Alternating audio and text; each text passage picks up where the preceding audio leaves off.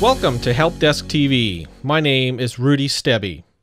As with other app stores, Windows Store handles the managing, downloading, and installing of any app updates. Windows Store will alert you about any pending app updates with a tile notification, as is the case on a Windows phone. For example, here you can see that I have four updates pending. Clicking on the Store tile will bring you to the familiar Windows Store interface.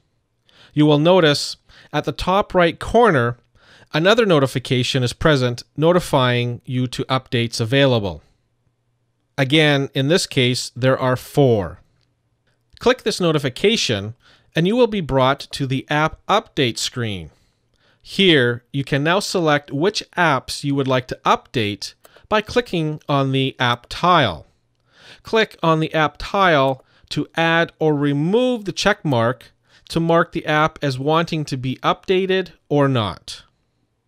All that's required now is to just click on the install icon in the lower right hand corner to update the selected apps. You are once again notified of the apps currently being installed in the upper right hand corner of your desktop.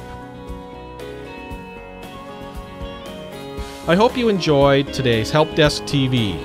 Please join us on our help forums at forums.helpdesktv.ca. There, you can further discuss today's topic or just to ask another question you need help with. See you there.